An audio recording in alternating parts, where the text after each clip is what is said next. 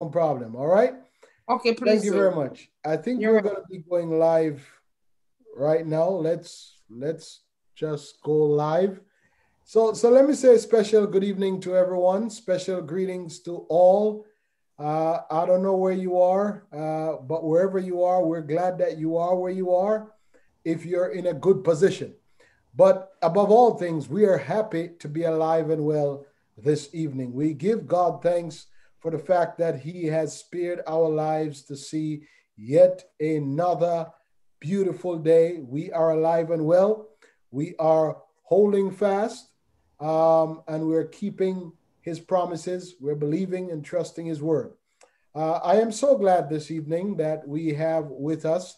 Last week at this time, we had close to 60 different individuals as we had joined with uh, the North Bahamas Conference. This week, we are back to our regular programming.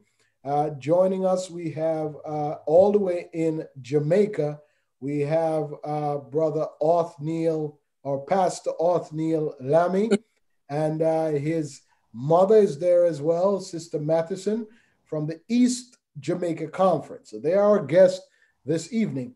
As well, our regular rose among us is uh, Sister Sonia Shippey she is with us this evening, and I expect that we will have joining us pretty soon uh, Elder Beam, who is always with us. He may be running a little bit late, but if he does come in, we will welcome him in. So let me go ahead and ask. Uh, firstly, Sister Shippey, how how has it been? How was your day? How was your week? Good. My day's been good. Week is good. Keeping busy. Yes, everything is good. And I'm excited because there was someone I was praying for for a long time and prayer's been answered. And today was a wonderful day for me. And oh, oh, so, so, so someone you've been praying for yes. Uh, is, is, is on right now, is doing well, answers yes. the prayer. Yes, yes. So, uh, so I'm so happy about that. Yes. Wow, wow, wow, wow. So that brought joy to me. thanks for that. Now, Brother Lammy, Pastor Lammy, how are you, my friend? I'm fine, Pastor. I'm fine. God be praised. All right. Uh, so tell me, well, how has it been for you? Didn't you guys have an earthquake or something? I heard. Yes, it was a minor one, but it was not close to origin. It was further towards the west. Oh, further towards the west. Okay, beautiful. But you guys east. well. Nobody that you you haven't heard of anyone hurt or any damages done. No, only my thank God, only my friends they have friends who are hurt, but I'm not f- f- familiar with those ones. Okay. But, uh, okay. Okay. But God be praised. Okay. God be praised for that. All right. Um, I think uh, Elder Beam is is is trying to get in, so we will we will wait for him to to join us. But aside from that, you guys now we for our viewers, our viewers who are uh, maybe at home or at work or in the hospital, in the prison, wherever you may be, we will have periodically individuals joining us. Joining us right now is one of our elders, Elder Taylor, has joined us, and uh, we're glad that he is in uh, with us this evening. Uh, thank you, Elder Taylor. How are you? How have you been? I'm good. I'm good. Thanks for having me. It's good. All right. All right. Happy to have you, Doc. Happy to have you. Thanks so much for coming in. Uh, you're going to make things a lot better this evening with your presence. So we appreciate that. To our viewers, we want I was about to say to you, we are at chapter 62 in the book Desire of Ages, the feast at Simon's house, and that's on, on page 557, the original writings of Ellen G. White. So I'm going to be sharing the screen as we do each evening, uh, each Wednesday evening. Uh, for those who would like to know, Matthew 26, 6 to 13, Mark 14, 3 to 11, Luke 7, 36 to 50. And the one that I like to read this particular story from, John 11, 55 to chapter 12, verse 11. That's where we're coming from this evening. All right. We have some individuals in the waiting room. Uh, let's admit everyone in. Uh, uh, and then we're going to be formally beginning with prayer. I know one person there is Elder Al Beam, I, I know him. Uh, there's a Galaxy S7 that's joining us. I am not sure who that is, but whoever is using that Galaxy S7, at some point we'd like for you to declare who you are so we know who you are. But I think they're still connecting. Uh, technology has its way. All right, so uh, Elder Taylor, uh, I don't know if you've joined us before. Uh, we want to see your face though. You're hiding your face. Yes, yeah, you're hiding your face. You bring the camera down. Excellent, excellent. Your wife thinks you're very handsome, so we don't want you to be hiding your face. All right. So beautiful. Show yourself. Uh, Elder Taylor, we have with us uh, a young man who I think is going to be a great pastor one day. He's joining us from Jamaica, uh, Pastor Lammy. Uh, he's from the east. Which part of Jamaica are you from, Elder Taylor? Montego Bay. Oh, you're from the west. All right. Yeah. The, the, songwriter says they come from the east and west. East from the but west. Yeah. I'm from the central section, so I bring all of you together. How about that? Okay, that's all wonderful. Right. Team, happy to have you. Happy to have you. Uh, happy to be here, Pastor. Good evening, Elder Taylor, Sister. Good evening, Elder Beans. Good to have you. Oh, good, good. To have you. Sister Shippy, how are you? And um, I see Othniel there, and I don't know who's the Galaxy S7. I am asking who's that Galaxy S7? Um, I I don't mind you being there, but if I don't know who you are, it might cause me to be nervous, uh, and and we don't like nervousness. But in any case, please uh, reveal yourself um, verbally or visibly.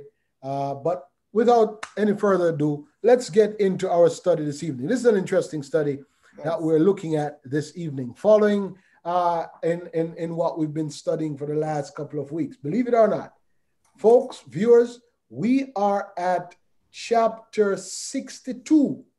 So, mm-hmm. in all intent and purposes, we've been studying this book for 62 weeks. So, it's been a year and 10 weeks, Sister Clark, since we've been studying this book, and we are at chapter 62 right now. So, we're, we're thankful um, that, that we have gotten this far and we're learning so much every single week. So let's get into the study tonight. Why don't we ask uh, who's jo- Ella, Ella Taylor? You're joining us for the first time. Why don't you pray for us, please, uh, to begin uh, this lesson? All right, let us pray. Loving Lord and Father, we give you thanks for your love, your mercy, and your grace. We give you thanks, dear Lord, for granting us another privilege where we can come to worship you and to give you praise in the middle of the week. Lord, we thank you for the technology that you've given to man that though we are in a different place in the world, we can still gather together and just to lift your name in praise and in adoration. So, Lord, we give you thanks for the knowledge that you've given to man. We thank you, dear Lord, for health, for strength, for food, for shelter. Lord, we thank you for the written word. And as we get into the word, now to study about the life of you and how your healing power there in Bethany with Lazarus and Mary at Simon's house, realize, Lord, your power that you heal a leper. And his gratitude was to show a feast and to show his gratitude to you. But yet, there's always those that will come with skepticism and those who always feel that they can always pick apart your truth. Lord, we thank you that you give us the opportunity tonight in a world in which we live where so much chaos is taking place around us, but yet our focus can be upon you and not at the things of this world. So we ask that the Holy Spirit will be with Pastor as they lead out, be with every participant tonight who's listening, wherever they are. Lord, I pray that your spirit may be there. May they have a rich understanding of your truth. Now I pray thee. In Jesus' name, amen and amen. Amen. Amen. Amen. Amen. Thank you so much. Thank you so much, uh, Elder Taylor, for that. Uh, again, everyone, we want to introduce you to our panelists this evening. Sister Clark, Elder Beam, Elder Taylor, Sister Shippy, and uh, Brother Othniel, who we call Pastor Othniel from Jamaica. Um, let's get into the study. By the way, before we get in, we always ask this question. Um, what was your impression of the study, uh, chapter 62? What was it like when you read and portions that you read? How was it? Anyone? To me, one of the first things that jumped out to me is to see that here it was, the, the religious leaders, they went to the feast to see Jesus, but didn't go there was to really hear the truth. They go there was to really to look for a mistake that will make so they can use it to go against him. And to me, I find that very fascinating. That here it is, you hear about someone who's doing all these good work, but you don't go there for the good. You go there to look for something bad in that person. Trying to find a way to trap him, right? Yes. All right, good. Uh, anyone else? Um, and my takeaway from this was to be a follower of Christ. Not only do we have to sit at the feet of Jesus and learn of him, but we have to take on his character. We have yeah. to allow him to be our Lord and our Savior. And our character must be transformed and be like that of Christ. Because we see when our character is transformed, how we can look at things differently. We see the difference between Simon and Mary. So it's important that we have that character of Christ where it's compassion, tenderness, mercy, and most importantly, love. And we see that love was mentioned so many times through the chapter. Genuine love, genuine love.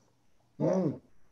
You you you underscored the word genuine. Yes. Uh, yes. yes. Okay. All right. Anyone else? Any thoughts uh, on the passage? Yes, um, Pastor, I, I also realize that um, it's not it's not power or position that makes you saved. You see, um, Judas, Judas, um, you know, he was a treasurer, you could say, of the Jesus and his and his disciples group. He was a treasurer, and that could be, you can say, the minister of finance, minister of finance, or you know, the second highest position in the group. But he still was nowhere close to Jesus, you could say, because though being physically close to him most of the time, his spirit, his mind, his body was just um not there, not connected.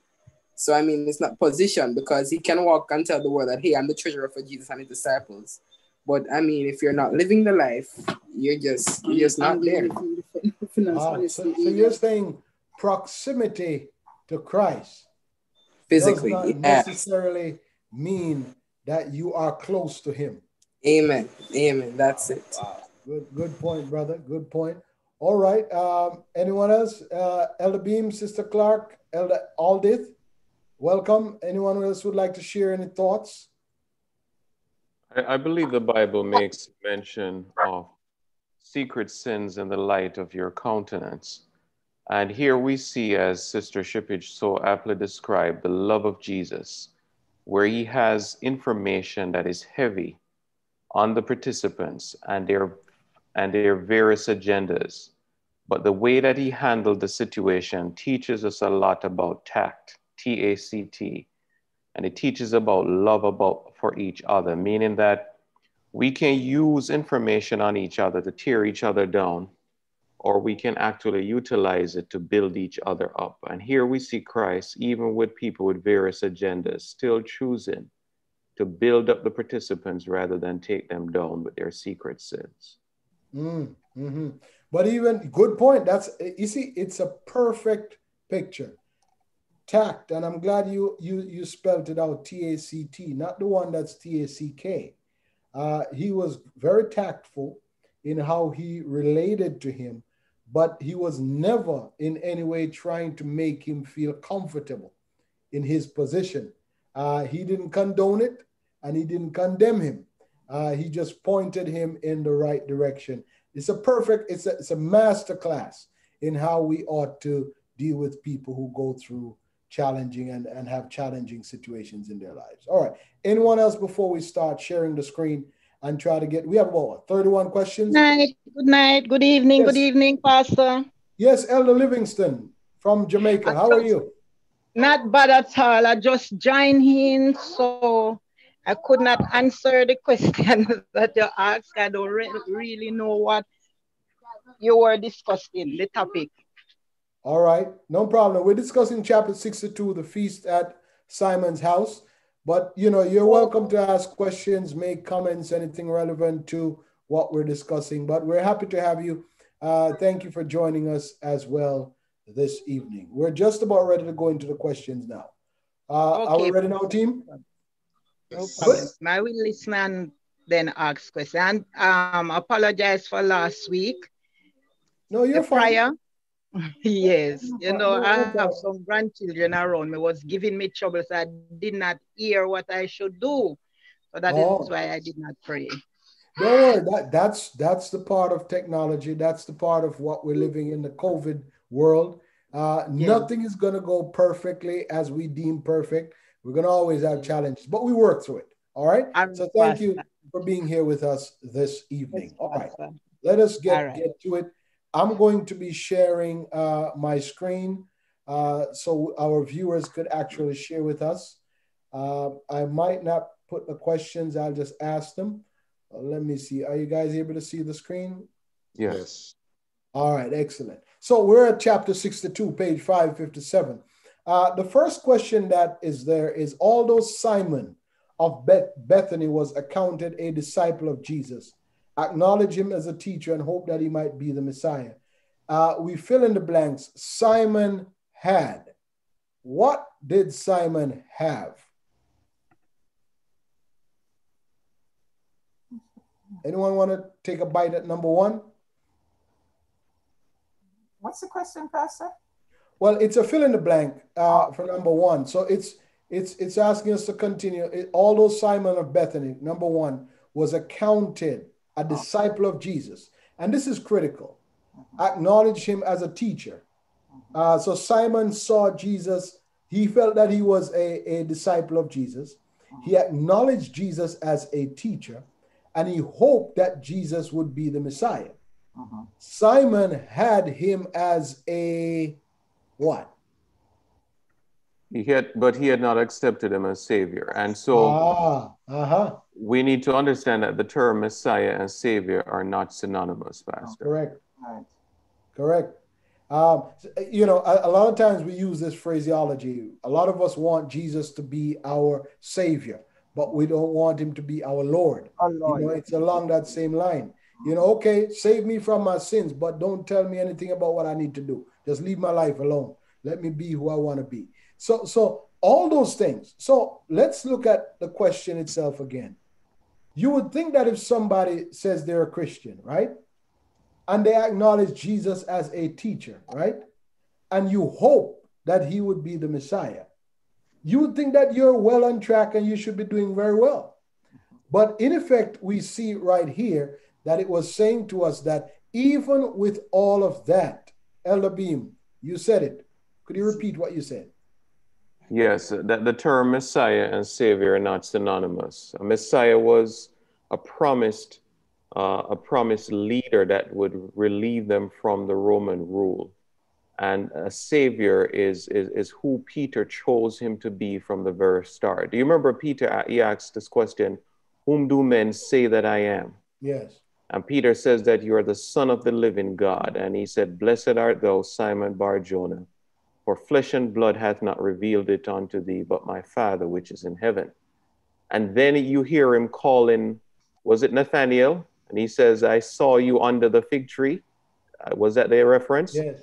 These men accepted him as Savior. They didn't need ev- any evidence that he would free them from the Romans. Yes. And you have to wonder sometimes when we come into the church, I'm not going to judge anyone, but what are we really looking for? Are we looking to attach ourselves to Adventism to get status and stability in life? Or did we really come there for whom the minister said was our Savior? That means that later on, if we hit upon any issues or people rub us the wrong way, then like a political campaign, we won't leave, if that makes That's right. That's right. And and as you mentioned that that that Elder Beam, Sister Shippey in her summation of what the chapter meant to her, she hinted at the, the this particular portion where it says his character was Yes. not transformed. His principles were unchanged. So this was you could you could do all these things like you said Elder Beam. You could be in the church, you could serve the church, do all of these great things, be in the church for a long time, hold all the positions in the church. But if your character, Sister Shippey, is Yeah. not transformed, then your principles will remain the same. Mm. They will be unchanged. Mm-hmm. Right? Yeah. All right. So so let's look quickly at number two. How had Simon shown his gratitude to Jesus? Now, somebody, I think Elder Taylor mentioned this in his prayer. How had Simon showed his gratitude to Jesus on a previous occasion for curing him of leprosy? I'd like our viewers to know and understand that Jesus had done something real big for Simon. Yes? Yeah. Yes. Mhm. you know leprosy was no ordinary thing it was it was it was a disease that that would cause you to be abandoned. You had to be away from everybody else. You're ostracized and you were looked at. At one point, we used to compare uh, uh, that to AIDS. AIDS has become a little bit more ac- not acceptable, but but the way we are able to handle it has become a little bit more acceptable, and more fashionable, if I so can say. But it was similar to that kind of thing. You know, you were untouchable, so to speak. And and Jesus cured Simon, who was a Pharisee, cured him of leprosy, and, and he wanted to do something good for Jesus, right? Or so we think. Yes? And so he had, what did he do for Jesus and his disciples? Prepare a feast. Uh-huh. He prepared a feast. Now, he didn't say just a meal, but he prepared a feast. So so all kinds of stuff was there. He he pulled out the best that he he brought all the china out, the same ones that your parents have in the cabinet that you can't touch. Those came out at that particular time because it was a very special occasion. So he prepared a feast for them. And then not any, anyone wanted to comment on this particular thing, the feast itself.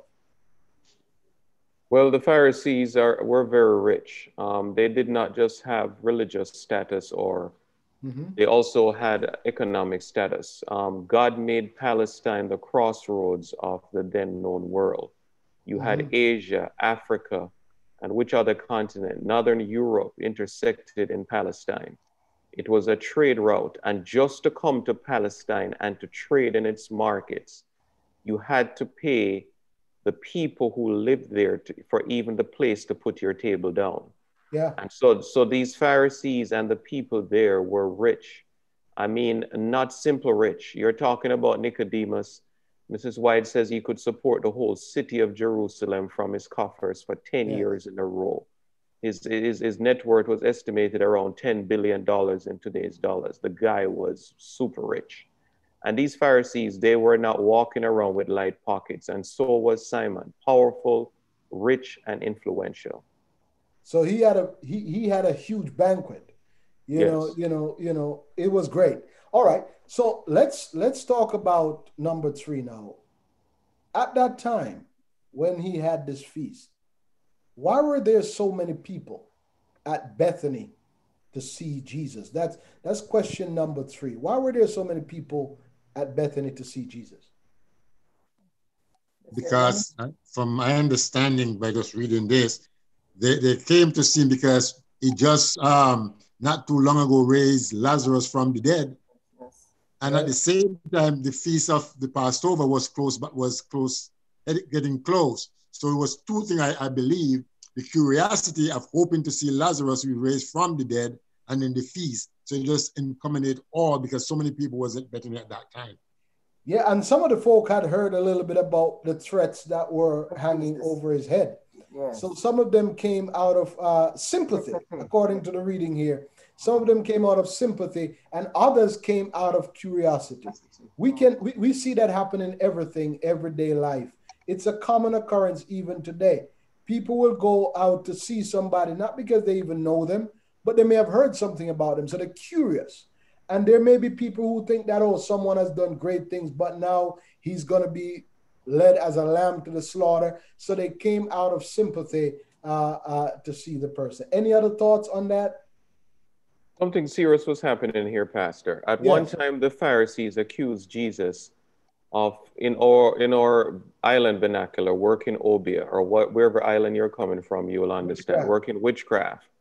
And he said to them, when you go into your dark rooms, you you do whatever. But if you continue to accuse me, then you will commit the unpardonable sin. Do you remember that? Yes. blasphemy against the Holy Spirit.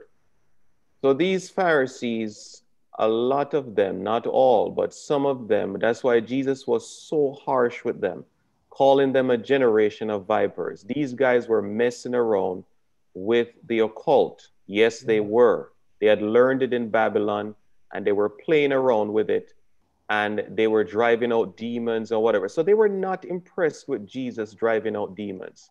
Because you know, that this whole thing about what do they call it? What do they call it again? Exorcism. Yes. Yeah, first a demon has to go in, and then you call him out, but you're asking him, please leave so I can put on a show. So Yeah. they were not necessarily impressed with that. Hold on. And that's why Jesus raised Lazarus from the dead. Not one day as if he was in a, in a, in a coma, as Sister Shippy knows as a medical professional. Not two days, because they have opened crypts and found finger marks on the stone where people raised from coma after two, sometimes one to two days. He waited how long? Three days. And the body was rotting in the Palestinian sun now at 110 degrees. And he comes and he raises Lazarus from the dead. So you got to wonder about Simon now. Who raises somebody from the dead? Why would he still be doubting that Jesus is the Savior? And it shows us that there are people in the church who are just not interested in God's agenda. They're just there because it's a good social gathering and there's something to be had. He gave irrefutable proof that he was mm-hmm. the savior of mankind by raising a man from the dead after three days. But yet still Simon was not confident that he was the savior of the world. Now, now that's that's that's a very good point that you just mentioned. See, Sister Shippy, Sister Shippy, did you want to say something? No, no, no. I just said amen. Yes, because sometimes okay. we're influenced, and you see, it's the same thing with. Well, we'll get further to Judas and and the and the disciples. Sometimes yeah, we, we have to get to him others. tonight. Yeah, we huh? have to get to him tonight. Yeah. All right. So, so as you mentioned, Lazarus El Beam. Let's let's jump to number four that talks about as Lazarus had not the people were, came to see Lazarus, right? Mm-hmm. Um, because they couldn't believe that this man was resurrected, and they had right. sympathy for Jesus. But when they, when they came around, they wanted Lazarus to tell them what happened. What you know, we've had so many movies made about people who said they had an, an experience, they died and went to heaven and came back, and and they're telling the story this, this, this passage shows exactly how it refutes unequivocally that, that no such thing happens, right? No, because here is Lazarus. He, he, the people came wanted to hear from Lazarus to tell him what was it like being dead. now, what did Lazarus talk about now that he was alive? Because he didn't talk about that. What did he talk about now that he was alive, according to the lesson? Pastor. Yes, is it brother uh, Othniel? Go ahead. Okay. Oh, right. It was saying, um, but Lazarus did have a wonderful testimony to bear in regard to the work of Christ. He had been raised from the dead for this purpose. With assurance and power, he declared that Jesus was the Son of God. All right. So, so in the first, the few sent lines before that, it said that he had nothing of this kind to tell, because everybody wanted above it says right here, many expected to hear from Lazarus a wonderful account of scenes witness after death. They were surprised that he told them nothing. Nothing. Yeah. nothing he said nothing, it's not that he he didn't want to tell them, but he had nothing to tell them. Why? Why? Why is that? Othniel, go ahead. It's somebody else, um, Pastor. It's not Othniel. Somebody else is. Who is that? Is that? Okay, Sister Livingston. Sister, yes, Sister Aldith. Go ahead. Um, I was just about to tap on what Brother Lammy said that Lazarus had nothing to tell because Lazarus have no idea what happened.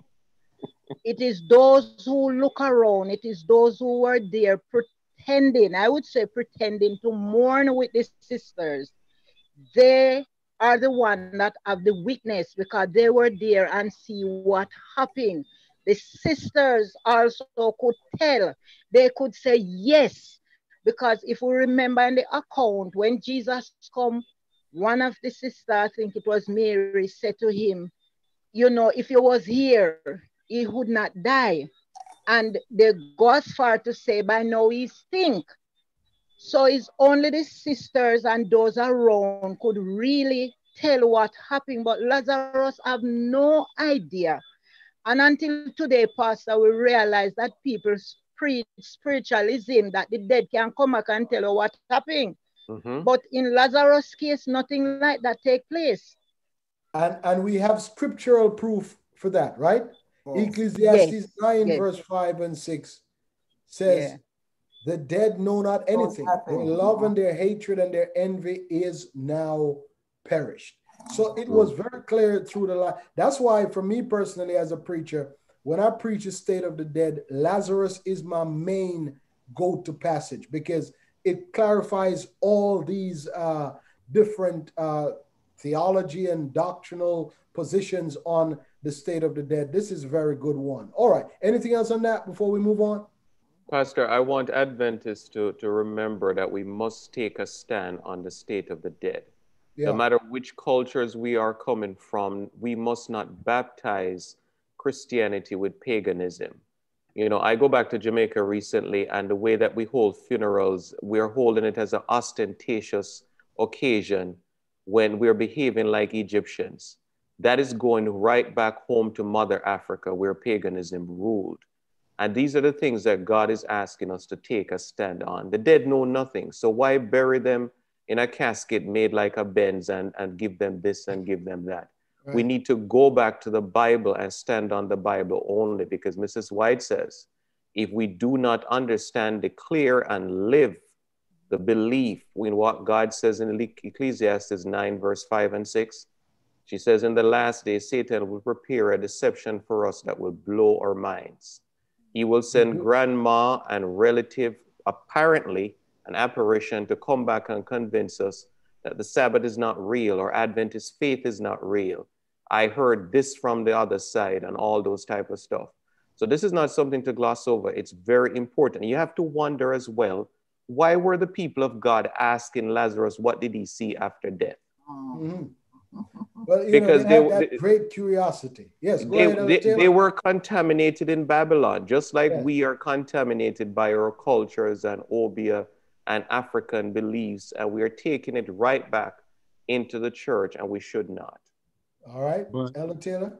I would question that they, I mean, they have a form of godliness, but they was not really God's followers. Because in the first place, you have to understand something they, I mean, they, they present themselves as if they're part of the family of God, but they were not, because that's why they come to expect Lazarus to speak to them, uh, as I said, out of that experience. Yeah. But the Bible tells you, and if they study all the way back from Genesis, Milos shall surely die. And, and, and the, right there in the book of Ecclesiastes, make it very clear the dead know not nothing. Even the love and the hate perish from that moment. So really and truly, when they come to expect to hear something from Lazarus, you know that number one, they don't believe in, in, in, the gospel. Because if they did believe in the message from Abraham, because even for them coming out of Egypt, they know that because Moses, I mean, Joseph give them the, the, the example.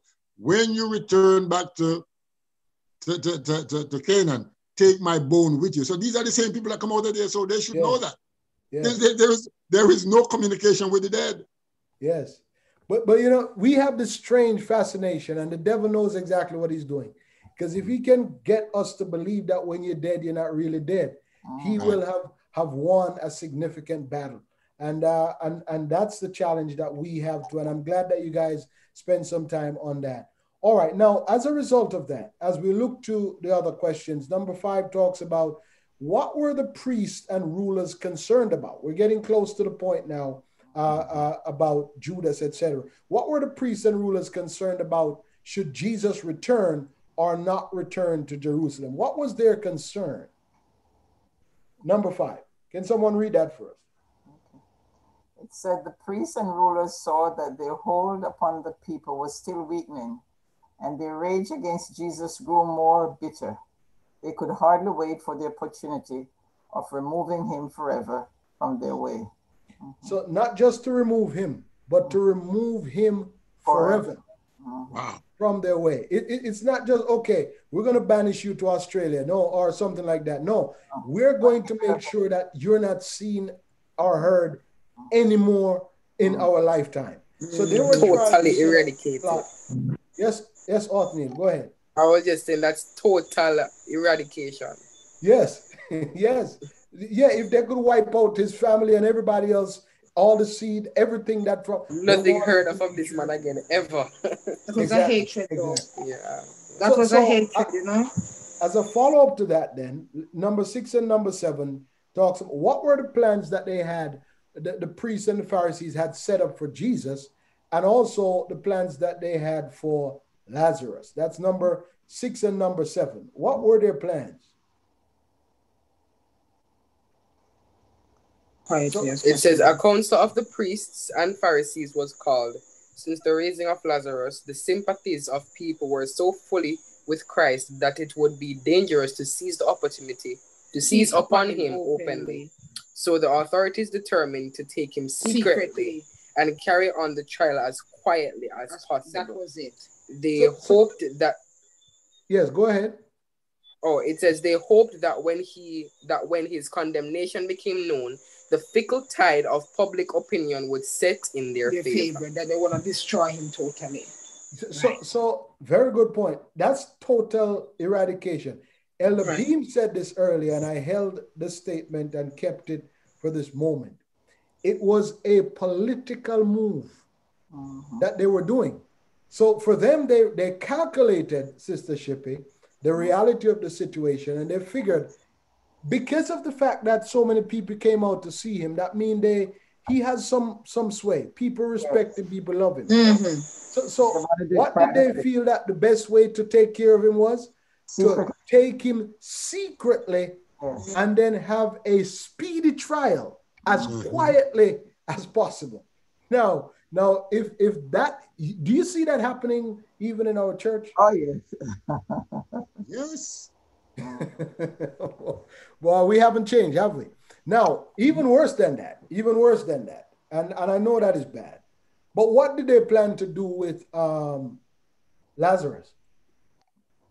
They They plan, Kill him too? kill him too. they Yes. plan No, to no, get him no, no, let me ask this question now. Why do they need to kill Lazarus? Oh, Pastor, It's- they really a want to get rid of Lazarus because Lazarus is the testimony. Testimony. Lazarus is the Testimony. evidence. Yes. So they of want to get rid of the evidence. They want to get rid of the testimony. So that is why they want to get rid of Lazarus because Lazarus was a constant reminder to them that Jesus rose from the dead. Amen. Amen. That's that's that's Amen. the perfect response. Any other response to that? I think that's that's a great response. Anything else? Yeah. All right. Yeah, that is true. They re- they realize that you know what? If we secretly try put Jesus on trial, get rid of him, uh, you know, set him to die, and whatever we do, um, we still can't succeed because there's one guy who who was dead He and was resurrected by him, and so we need to make sure we get rid of him too. Yes, brother Ortney. Yes, Jesus says, I, I am the resurrection and the life. And so for them to prove, uh, which it, it has been proven by raising Lazarus. So to get rid of that that altogether, they have to get rid of Lazarus. And there would not be any proof that Jesus is resurrection and the life. All right, They- that is so true. All right, so now we're going to transition to what happens after the situation. While they were plotting and while they were doing what they were doing, what was the scene like at, at, at Simon's house at the feast? What was it like there? And this is a very interesting portion of the study tonight. Okay. What was the It scene? says, it says at the table the Savior sat with Simon, whom he had cured of a loathsome disease. He was not just the resurrection, but he was also a healer on one side. And Lazarus, whom he had raised from the dead, shows that he is also the healer, the physician, and he's the resurrection, whom he had raised from the dead on the other side. Martha served at the table, but Mary was earnestly listening to every word from the lips of Jesus. It must be Jesus. Amen. All right, so so hold on now. Eh, eh, hold on now. We're seeing here at one table, Mhm. at one table, The clash. different categories, class, and types of people. Right. Mhm. You guys Mhm. notice that?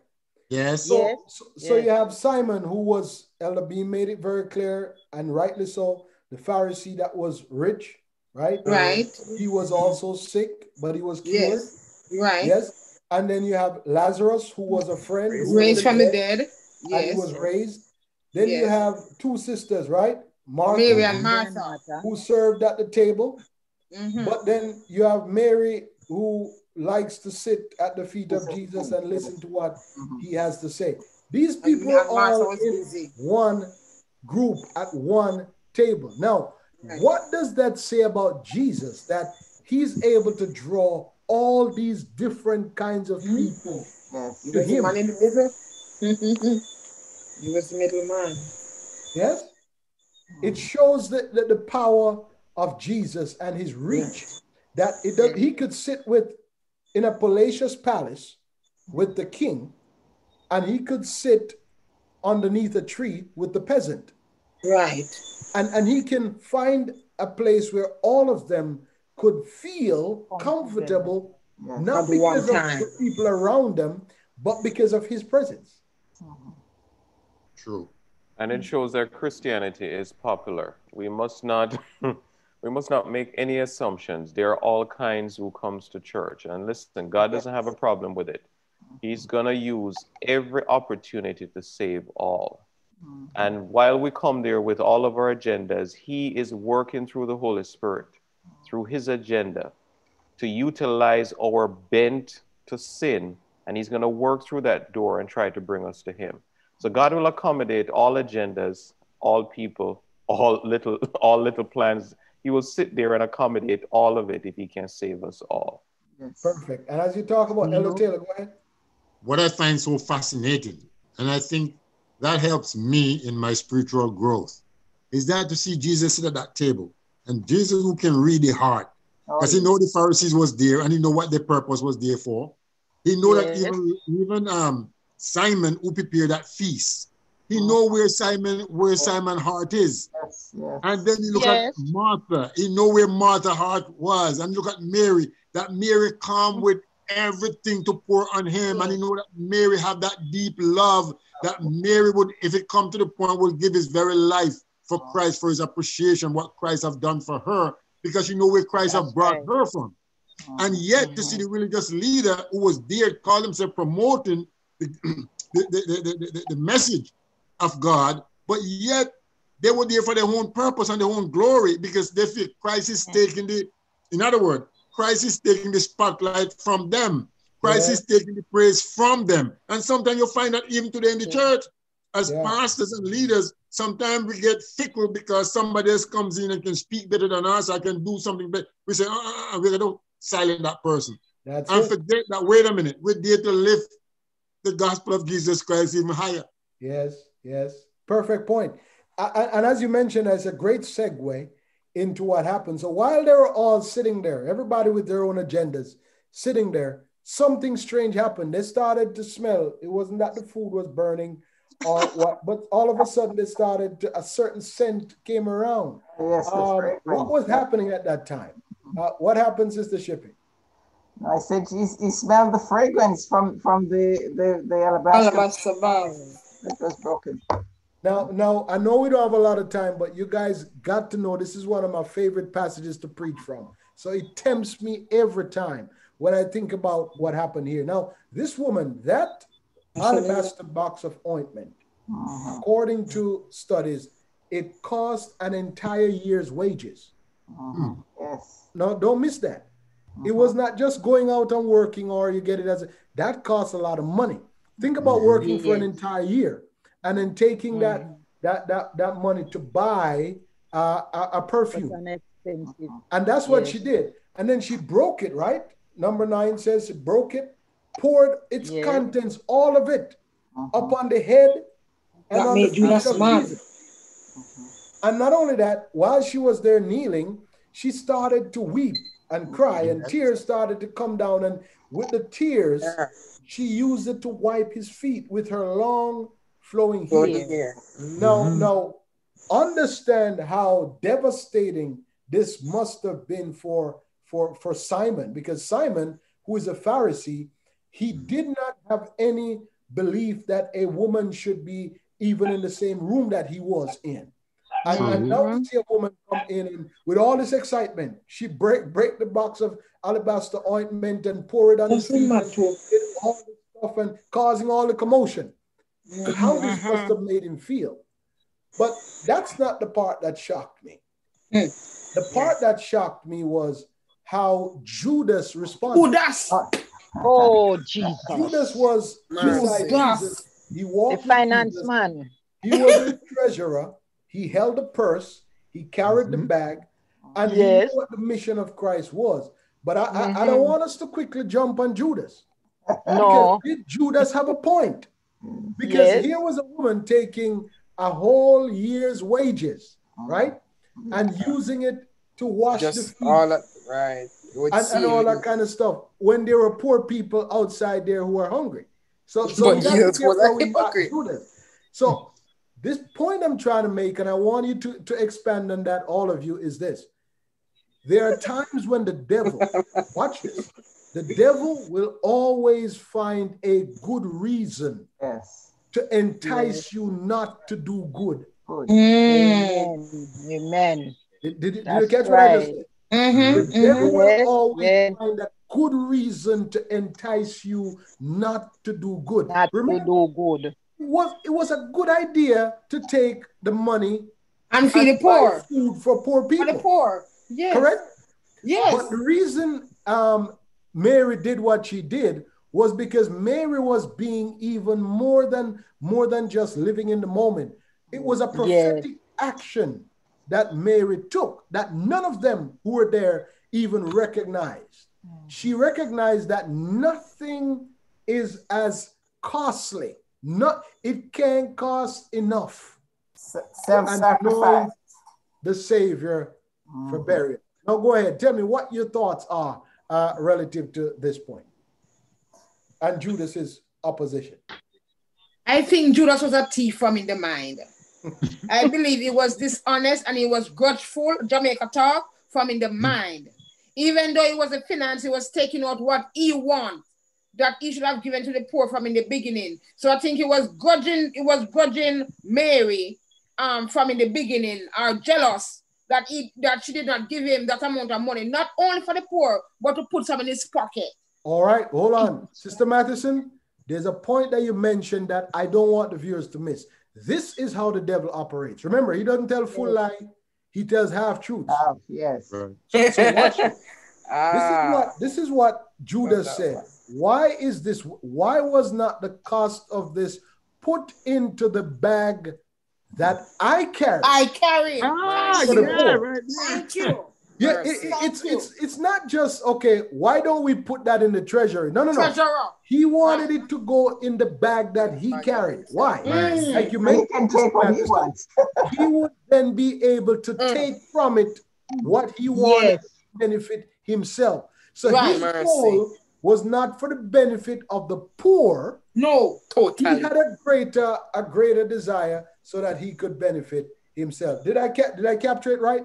Yes. That's it. That's Yes. exactly how I got it. Yes. Yes. Okay. That's So that's Pastor. that's the problem. That's what we got to be very careful with. With, Yes. with listen, nobody is gonna believe a blatant lie.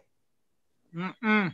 You have to mix it with some truth. And so you got to truth. watch what people do, what they do. Judas did what he did, and it made sense. But if we're honest with ourselves, thinking about it, you realize that he had ulterior motives. All right.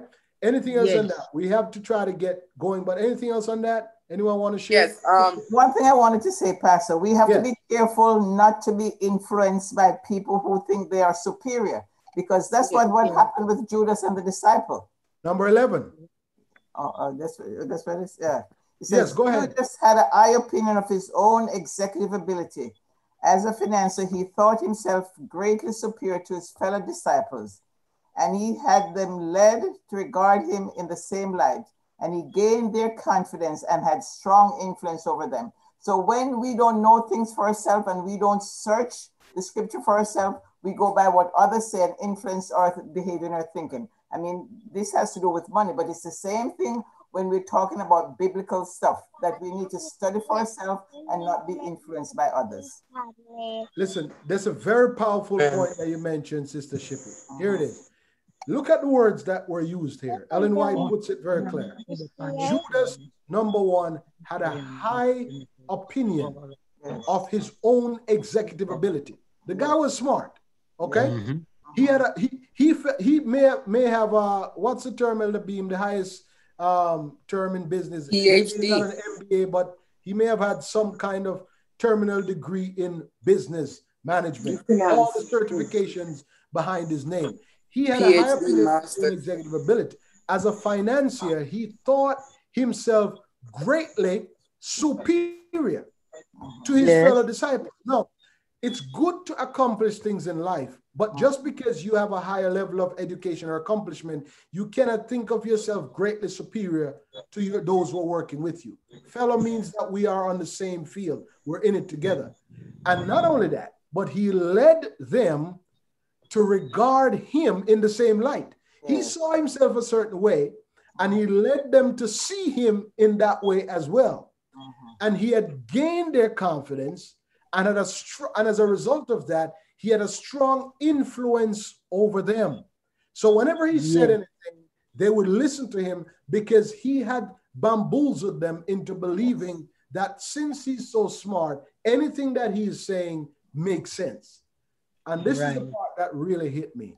His professed sympathy for the poor deceived them, and his artful insinuation caused them to look distrustfully upon Mary's Devotion. devotion. Oh my master. Yeah. Mercy. They- And They missed the point. I'm coming to Elder Beam and Othniel. They missed the point of what Mary was doing Yes. Because they trusted what Judas Judas and who. Judas thought he was. Mm. Go ahead. Elder Beam. Go ahead, Othniel. I'll let you go first. No problem, Uncle. Um, as you read that that last section, I want to mark out those three words. Um, professed sympathy. Yeah. It's just something you you just say. It's not necessarily true. It's not necessarily factual. And artful insinuation. That's total deception. Yeah. And another thing I, I, I like to highlight is the distrust upon Mary's devotion. You see, it's not just that, that's a good point that Judas, you know, because of how they looked upon him, they would just take what he says that, hey, he's the smart guy, what he says, you know, it can work. Yeah. Mhm. But the fact that Mary, Mary's status was not that a good one, she didn't have much of a good reputation. Because if we recall, Jesus had to cast demons out of her seven times. Mhm. So seeing that, hey, this woman could have lost it again. You could have not been so, you know, 100 as we would say in Jamaican terms. She would not have been in her right minds at that time. She could um not be so stabilized. But Right. then Judas was always the smart guy. So hey, the smart guy as opposed to a woman regularly possessed with demons. I would definitely choose the smart guy. So that was a advanced advantage in Yeah. Judas's deception of the disciples. Good point. Excellent point. Elder Beam. I'm going to segue off what Othniel said. I'll utilize what he mentioned last, which was Mary's devotion.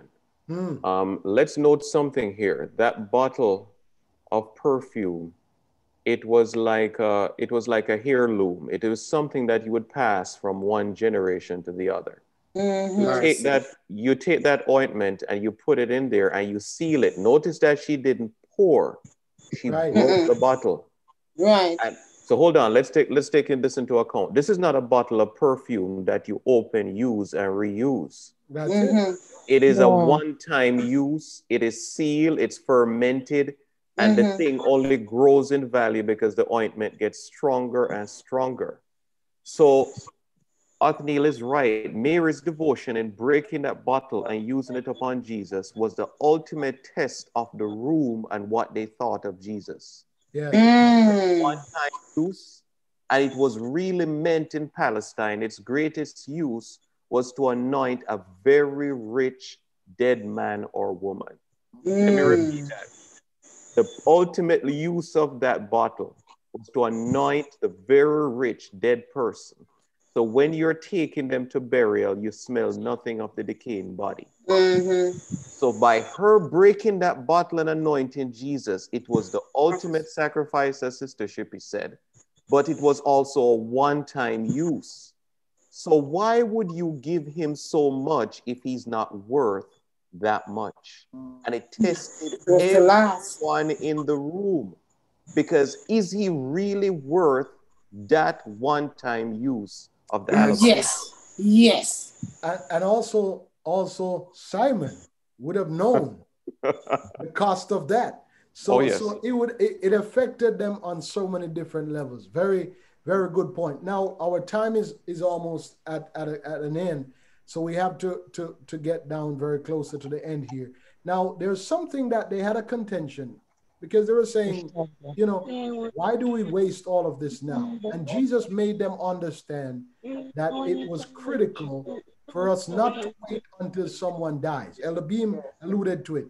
We want to make caskets that look like cars and caskets that look like all kinds of things.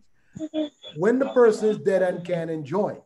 But mm-hmm. but Jesus was saying he would rather have us give, you know, there's a song that they sing, uh, don't scatter roses after I'm gone, give them. I said it today. I said it while I read this story. It's, it's, it's exactly what is happening here. Jesus was saying, that's what I wanted. Mary gave Jesus what the disciples never gave him Yeah. all this time. They've been with him all this time, and they never realized that there were times when Jesus felt lonely. They didn't realize that Jesus just needed someone, a comfort, consolation. They did not see that in a few days his body was going to be broken. Uh, they didn't see that. And as a result of that, as a result of that, what Mary did caused Jesus to feel very emotional as well, uh, because somebody actually recognized, understood, and cared. Uh, anything else you want to share? Because there's something I want to put run to at the end relative to Mary as well to tell us how we have to be very careful. The people You know, we Pastor, think- the one thing that I, I like is the, the Yes. importance of the Holy Spirit. go ahead. The Holy Spirit had planned for Mary and she had obeyed his prompting. Yes. Inspiration stoops to give There no it is. reason. An unseen presence, it speaks to mind and soul and moves the heart to action. It is his own justification. Amen. Inspiration stoops to give no reason. No, yes. Mhm. Oh, praise God for that. That that that is a number 15 answered there as well. Beautiful. Anything else before we jump down further, way down? Uh Yes.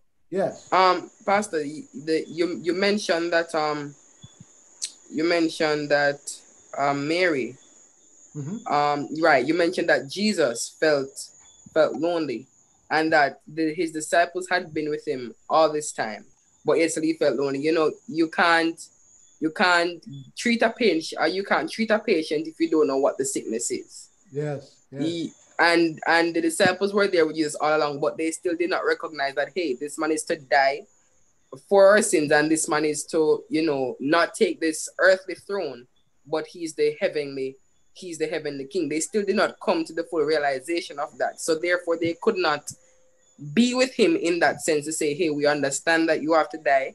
We understand what you have to go through and therefore be closer to him than they would naturally be. But mary now even though mary did not use say words but they as elder b mentioned that that oil was to be poured upon a dead body. That was prophecy in itself. You know she was saying that hey this man is to die and this oil is going to anoint his dead body and even then the disciples still did not understand Mm. so so yeah that, that, that that's a powerful point there Pastor, I'm gonna I think it also I think it also speaks to giving her all, as Sister Shippey says, upon the altar of sacrifice. Yes. Yes. We Excellent. are still jeered and we are still reminded as Adventists that we came from a confused beginning. Do you remember what it was? The Great Disappointment, 18th October 22nd, 1844. We sold all our farms and stand there waiting in a field because Jesus was to come down. Now, granted, of course, we misinterpreted the prophecies. Yes. But Mrs. White goes on to say that God holds us in great regard because we were ready, even with a misunderstanding, to give up all, sell everything, and prepare for the coming of Christ. And we must be in that readiness of mind. We have set up house too much. We are more a movement than we are a church. And when the time comes that God says, lay down all upon the altar of sacrifice, sell, give away, fund certain things, do what you need to, because my coming. If we're holding on to things like Simon and the others in the room, we'll miss that point of Jesus is coming. Very good, very good. I'm going to ask someone to read for me uh, the li- underlined section here, number 21. Then I'm going to read, uh, I'm going to point out one last thing and then we get ready to close out. Uh, number 20. Sister Shippy, you got it? Okay. Christ values acts of heartful courtesy. When anyone did him a favor, With heavenly politeness, he blessed the actor. He did not refuse the simplest flower plucked by the hand of a child and offered to him in love. He accepted the offerings of children and bless the givers, inscribing their names in the book of life. Amen. Powerful. So Jesus appreciated Yes. the smallest to the greatest act of kindness that we could bestow. But we have to be very careful. Judas walked with Jesus. Mhm. It, it took a woman, Mary, who was, you know, an outcast in so many ways. And I won't even get into one reason why Simon was so offended by her. That's another story. Um, but but there was something that jumped out at me uh, towards the end of the lesson. Um, remember, by the way, we also need to point out that Simon, as we read later on in the story, Simon's heart was changed Yes, after the parable. Yes. after Jesus shared the parable uh, about the debtors, right? Yes. yes. Simon realized that, listen, that's why we have to, we say it so many times, we cannot look at people in church, their reaction to God, Mhm. and tell them how they should react to what God did for them. True. Amen. You know, that's the same thing like what Simon and Judas and others were telling the woman. Don't use all of that uh, uh, that expensive perfume uh, on Jesus. No, she was doing it because Jesus had done something great for her, and she was expressing that. We should allow people to express themselves to God based on what God has done Done for them. them. Amen. and and that brought simon it touched his heart and he was changed from that now there's something i need to mention and that that's answering number 29 and i'm gonna i'm gonna read this and then i'll ask for your final i know we're gone past the time ask for your final uh, uh, statements and we, we're gonna pray when to human eyes her case appeared hopeless Mm. Christ Mhm. saw in Mary capabilities for good. He saw the better traits of her character. The plan of redemption has invested humanity with great possibilities, and in Mary, these possibilities were to be realized. Remember, Jesus doesn't see us as we are, he sees us as we can be. Yes, the. Through mm. his grace, she became a partaker of the divine nature Amen. the one who had fallen and whose mind had been a habitation of demons was brought very near to the Savior in fellowship and ministry. Here it is. It was Mary who sat at his feet and learned of him. Yes. It was Mary who poured upon his head the precious anointing Yeah. and Mary, bathed know his it's with her tears. Mary stood beside the cross and followed him to the sepulchre. Yeah. Mary was first at the tomb after his resurrection. It was Mm-hmm. Mary who first proclaimed A him risen the Savior. risen Savior. Amen. Mary, as we knew her, that woman who sleeps around with demons, Yes. all this kind of bad things Mm. being done. If Mary had walked to the doors of the church, we would not welcome her in. Come her. and Mercy. give, as a matter of fact, we would not give her a position as an officer in church because of what she had done. But mm. look at Mary. And then finally, Ellen White says, Jesus knows the circumstances of every soul. Amen. Talking to the viewers, you may say, I am sinful, very sinful. You may be. But the worse you are, the more you need Jesus. Amen. Amen. turns Amen. no weeping, contrite one away. He does not tell to any all that he might reveal, but he bids every trembling soul take courage. Freely Freely will he will he pardon pardon all who come to him for for forgiveness. forgiveness and restoration. Amen. That is Amen. why I am a Christian. That is Amen. why I serve Jesus. Because of what he sees in me and what he thinks I can be, and not what I was or what I am, and what the world may see me as. But what he sees in me. good in me. He sees Amen. the good in you. He sees Amen. the good in all of us. Any final Amen. thoughts as we get ready to close? Amen. Amen. All right. I think I think you guys you got you guys are ready for us to close now. We've gone past the time.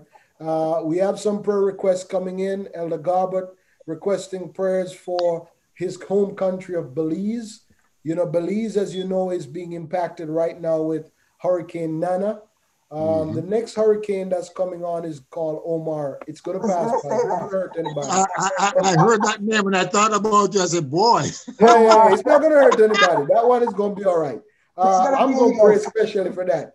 Uh, so Hurricane Nana is causing some disruptions in Belize and, and other countries, other islands coming in uh, south of the United States. So we want to pray for Belize tonight. Please note that we're going to ask you to pray. Uh, Sister Anthony is requesting prayer for her family. Elder Brown, both elders are requesting prayer for their entire family. And then Sister Richardson as well is requesting prayer for Polly. We've been praying for Polly and for Pauline and for her family. If they're watching, if they're not, we're going to be praying for you as well tonight.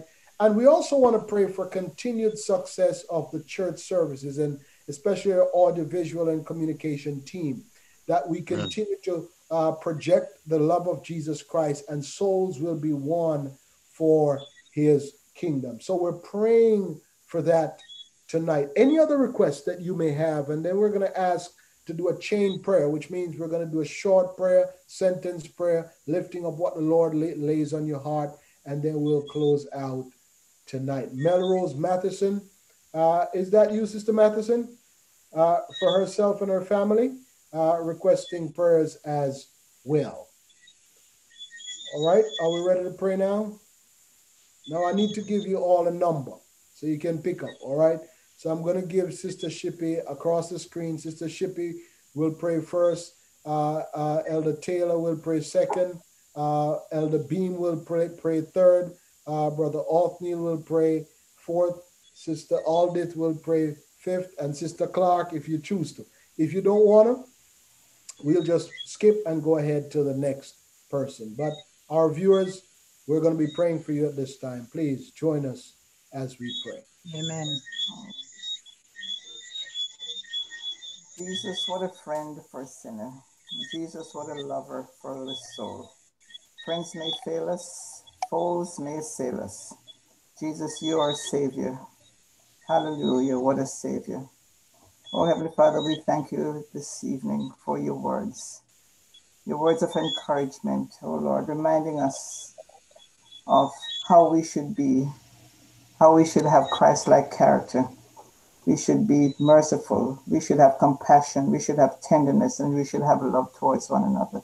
Lord, help us that as we study each night or every day as we study your word, let it not just be for knowledge's sake, but Lord, I ask that you be embedded in our hearts so that we can have a transformation and others looking on may see that we are walking with you. Oh Lord, we thank you for everyone that has been on this panel and on, on the line, Lord. Give us the blessing, give us the instilling of your Holy Spirit so that we can be a living witness in all that we do. Oh, Heavenly Father, you promise that you'll take care of each and every one of us. You said you know all our circumstances.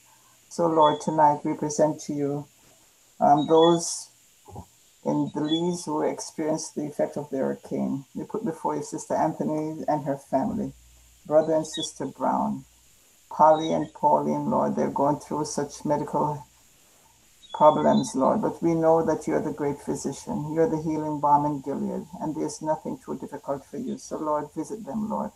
And as we, as they listen online, they are not of the faith, but Lord, we know that you can work miracles. Lord, we ask that you'll just touch them, touch them from the crown of the head to the sole of the feet, Lord, and give them a, a, a cure. Lord, we put before you our different ministries in the church, especially the AV department, Lord. Our desires to spread the everlasting gospel to all the world. So, Lord, tonight, as we're through with our studies, let us, as we depart, not depart from you, but let us leave with that indwelling Holy Spirit, knowing that we have studied your word. And just like Simon, there'll be a difference in our lives. Lord, help us to have love, love for another. And as the sermon last Sabbath said, there are three things required of us to do justly, to have mercy, and to walk humbly. So, Lord, whatever I feel of asking you tonight on anyone's behalf, Lord, fail not to grant it unto us in showers of blessing with the forgiveness of our sin through Jesus Christ, our Lord. Amen. Amen. Loving Lord and Father, we give you thanks for the privilege of coming before your throne. Lord, oh knows we are not worthy, but as we study your word tonight, you give us hope to know that, Lord, you have not cost none of us, but with a humble and a contrite heart we come before you. You said, a contrite heart thou will not despise, O God. So we come tonight pleading for the outpouring of your Holy Spirit upon your people. Lord, you heard these prayer requests that is gone up before you tonight. Sister Brown and the Brown requests prayer for, the, for them and their family. Likewise, Lord, we Polly and her family. Lord, we know that you're God who still hear and answered prayer. So we ask, oh Father, that your will be done. Where healing is needed, Father, may you grant it. Whether it's spiritual, physically, whatever it may. Father, we ask that your Holy Spirit will continue to direct your people. We know, dear Father, we are truly living in the last days. We can see the sign and wonders all around us. Nature is crying out. Father, we can see the hurricane, now we're in the hurricane season, and right now, those family members in Belize are facing the threat of this hurricane. But Lord, we know that you have the power over the wind and the wave because you spoke, Lord, and you calm the raging sea. So we know you can do that tonight. So I pray, Lord, for all the the, the, the, the family, Lord, in, in the Bahamas. I pray, Lord, that your Holy Spirit will guide and direct, give them the peace of mind to know that they have, there's nothing to worry about, but you are still in control. Lord, I just want to ask that your sweet spirit will continue to lead your people in the pathway of righteousness.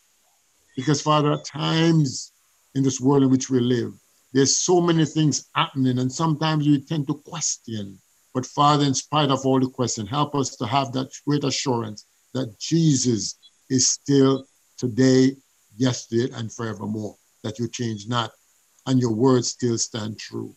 And you demonstrated tonight as we study your word, Lord, as you sit at that table. There was people from all different walks of life, and you understand they come with all different characteristics, but yet you look beyond their fault and see their need. And I pray tonight, oh Father, that you look beyond our fault and see our need, know that we need you to guide us through the pathway of life. So, Lord, hold us with your mighty, and I pray thee. I thank you, Lord, for Pastor Palmer. I thank you, Lord, for his ministry as he continue, Lord, to lead your church. Lord, may you give him wisdom. May you give him understanding, Lord, to lead your people in the pathway of righteousness. Father, we know that it is not an easy task, but with Jesus in the vessel, we can smile at the storm. So we ask, oh God, as we face the challenging times of life, May our life be so enriched in your principles and your precepts.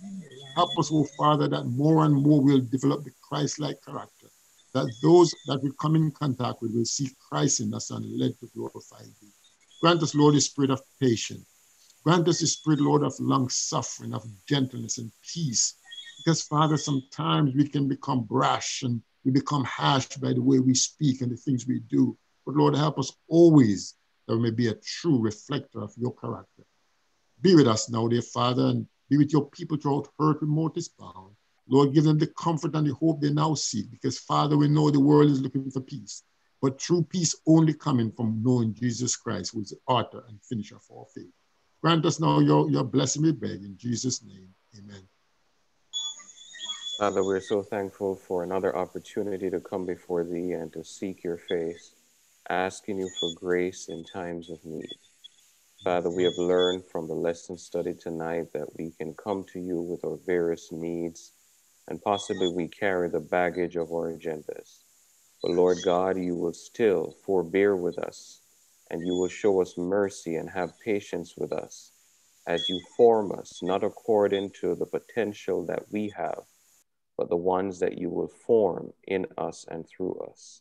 And so, Lord God, we thank you for such hope.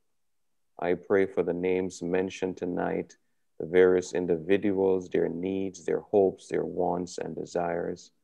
I pray, Lord God, for the islands of Belize and neighboring, um, neighboring areas, Lord God, that may be affected by this hurricane. I pray that you may keep and bless and watch over and overshadow, Lord God, I ask, dear Father, that every person represented in participation and their churches, that you will bless us as bodies, as families, We are in need of thee, O God. These are trying times in which we live, and we need you every day, every hour. Lord God, we remember those who once walked in this way, or family members, or children, or others who may have departed, but Lord God, they have not departed from you. And so I pray for those various family members and associates and friends who once walked in the way and they do not anymore. Oh Lord God, I pray for our church members, our children, the youth. I pray for the aged and their needs, Lord God. I ask that you will forgive, that you will bless, you will uphold, you will restore, and Lord, that you will invigorate us as we go through trying times. Your promise that you will never leave us nor forsake us. And we hold you to your word and thank you for hearing our prayers. And whatever I failed of asking of thee, please do not fail to grant it unto us, for we ask it all in Jesus' name. Amen. Amen. And and so, Heavenly Father, we we tarry a little longer, oh God. we want to give you thanks. Oh God, we want to give you thanks, oh God, for your grace, for your mercy, oh God, for your tender mercies and loving kindness, oh God. That, that has kept us throughout this soul rendering discussion, oh God. Oh God, we have read, oh God, how Judas, how his thoughts were in in contrast and in opposition to that of your holy ways. We read how the ways of Simon, oh God, we saw how he saw himself as the rich guy. We saw how he saw himself as the one doing everyone a favor and did not truly show appreciation of what you did for him. Oh God, we see how, how the disciples did not fully understand your purpose even then. But oh God, we, we recognize that Mary humbled herself, oh God, and emptied and gave her all and emptied that alabaster box. Dear God, help us to be like Mary. For God, mm. we all are sinners, oh God. You may not have cast demons out of us, oh God, but oh God, you have helped us in some way whatsoever. Lord, you have kept us throughout today, and we are still alive even now, and that is enough for us to give you thanks for. So, oh Amen. God, help us to outpour, help us to give to give you our all. Help us to empty our alabaster boxes. Oh God, as we go from day to day, oh God, may may you continue to shine upon us. May you continue, oh God, to to help us to live the life that counts for righteousness. As for our viewers in the in on YouTube or whatever platform they may they may be viewing from, oh God. I'm sure that each and every one of them, oh God, they have something, oh God, that they want to bring to you. They may have some struggle, oh God, that they want you to fix. So God, I pray that you will take each and every one even now. And I pray that you will work a miracle in someone's life, that someone can get a testimony through their test even now. Oh God, I pray that you will you will just keep us all in the hollow palm of your hands. And oh God, I pray that when all is said and done, and you shall come in the clouds of heaven, may we not run to the rocks and the mountains and say, Fall on us and hide us from him that that sits upon the throne. but oh God, may we run to you and say, This is our Lord and Savior we have long waited for, and he will save us. Oh God, I mm-hmm. pray that until then you will keep us true and keep us faithful. Until then, oh God, the song says, My heart will go on singing Yeah. until then, with joy we will carry on until the day our eyes behold the city until the day God call us home. Oh God, I pray that soon and very soon, the song says we'll be going to see the King, but oh God, we know that soon and very soon you will be coming to get us. So God, mm. until then, I pray that you will keep us strong, faithful. And oh God, I ask that you will bless each and every one in this room even now. And Lord, as we are about to go our separate ways, oh God, never from your presence. May you be with us. May you walk with us. May you talk with us, oh God. May you sleep with us. May you just wrap us up in your arms of love and mercy. And oh God, when all is said and done, oh God, we can run to you and you shall save us in Jesus' name. Amen. Amen. Amen. What a friend we have in Jesus. That we can take all our griefs and pain to Him to bear.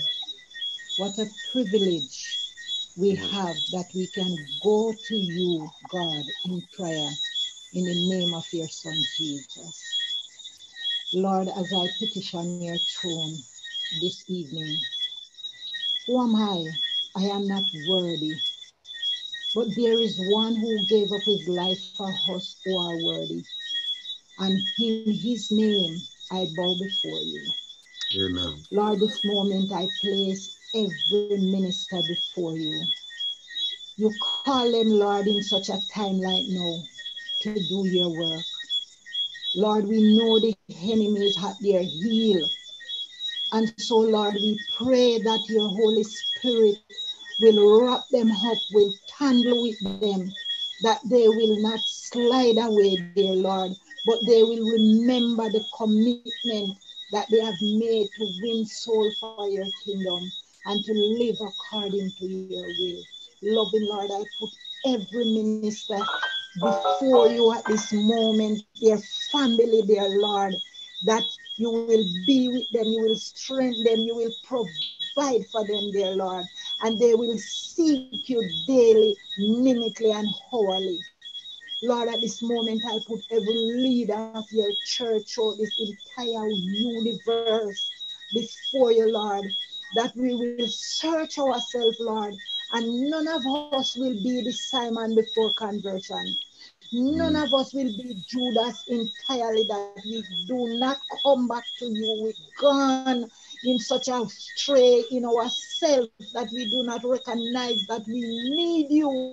And so, Lord, we last hope when the moment has come. Lord, we ask for your divine strength. We ask that you will help us not to look down on others, but to look upon them with the love that you have looked upon us with. So hmm. many times, Lord, as leaders, we fail in so many different ways. Here simply it may be, Lord, we fail, but Lord, the love that you have for us is so mighty, so everlasting. It cannot question, dear God. And so you still have mercy upon us. Help us, Lord, to show love and compassion on those who are weak, those who need love, those who need compassion.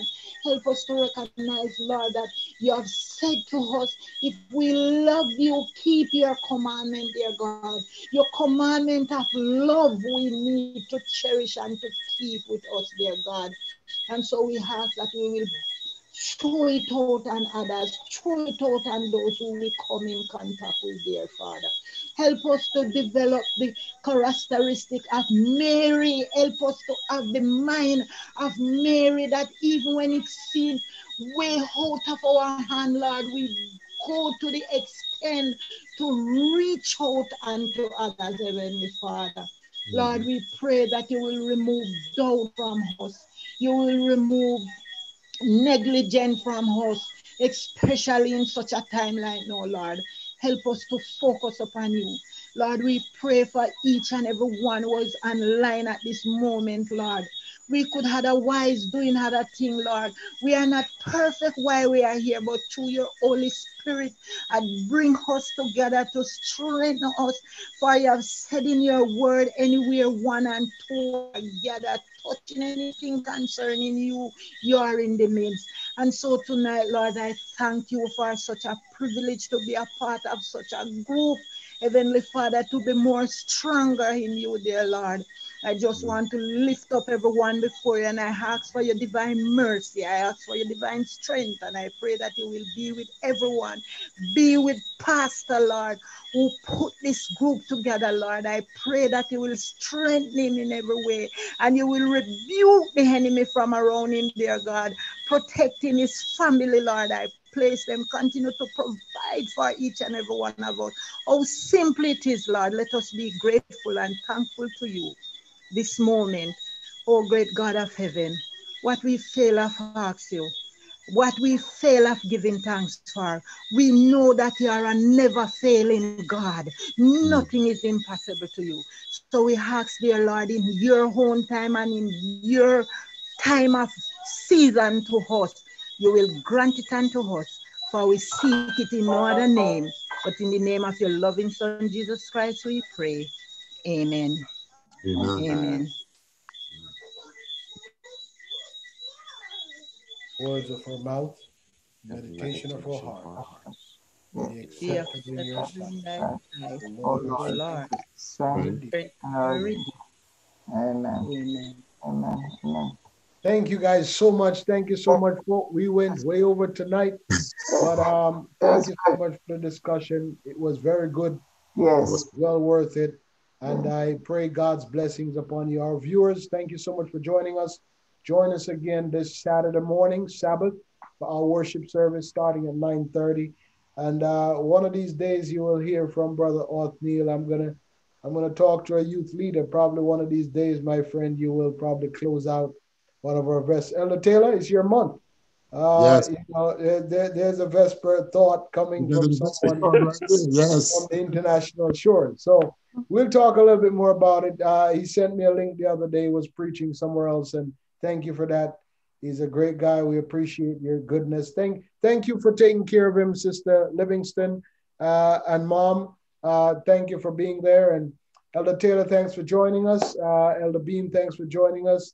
Sister Shippey, Yes, thanks for joining Pastor. us as well. Sister Clark, who is somewhere in the background, but all our viewers, we will keep praying for you. And please keep praying for us as well. And we'll see you on Sabbath morning. By the way, one more thing. Coming soon, and this is breaking news. Uh, nobody else knows about this yet, but starting in October, we're going to be having a weekend uh, type uh, hour of power. Okay, so it's going to be Friday night, Saturday night, Sunday night for one hour. We're going to have a special guest speaker coming in, and we're going to be praying together, singing together, praising the Lord together. We look forward to it. So start planning to invite your friends. Start planning to invite your friends and your neighbors, like what Sister Richardson is doing. Send a link to your neighbors. Let them just watch and encourage them to be a part of what we're doing. And you never know what the Lord will do in their Amen. life. It was quite uplifting, uh, everyone. Sister Shippey, thank you as well. Yes. Uh, may God bless you and uh, see you again pretty soon. Come back. Amen. Yes. Good night, everyone. Yes. Have a good Amen. rest of right. the Good night, everybody. Yeah. Take God care. bless you. All right. I see you Okay, Sabbath evening down at the west side. Yes, I'll be on West Jamaica next Sa- next Sabbath evening. I saw Yeah. you um Sabbath gone down by the west side. I remember you were asking them to pray for the gentlemen, even though they come out of one state. Yes. You were asking let's pray for them so that the enemy will not attack them in different forms. Exactly. You're right. Thank Yes. you. Keep praying. Keep Yes. praying. May God bless you. All Same right. to you, Pastor. Take care.